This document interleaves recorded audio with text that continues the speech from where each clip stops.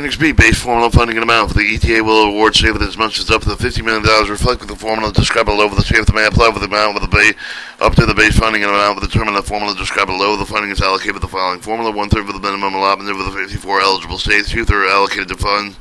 Thus, 50% of the base for the state relative to the share of the total registered apprenticeship of the fiscal year to 20, 2023 of the apprenticeship data in nine, um, September 30th,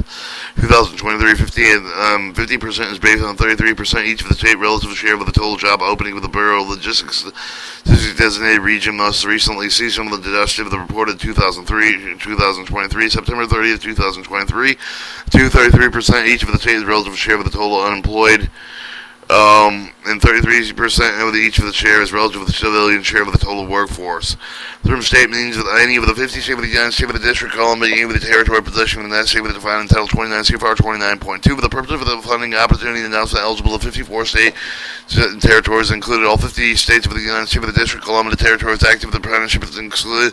seats 100% of the Guam, Puerto Rico, and American Samoa. The only territories more than 100 active registered apprenticeship that are eligible to apply with the base competitive funds for those territories not eligible to apply for funding an opportunity announcement have less than 100 active registered apprenticeship. The office of apprenticeship provide with the dedicated technical assistance and increase the capacity to apply for the future year of the funding. Please visit the apprenticeship gov the data statistics of the view of the office of offer the apprenticeship official year of the 2023 data statistics. Previous official year of the data the statistics may also be viewed on this page. And it shows the states um, and how they listed it out. Appendix C is just an abstract template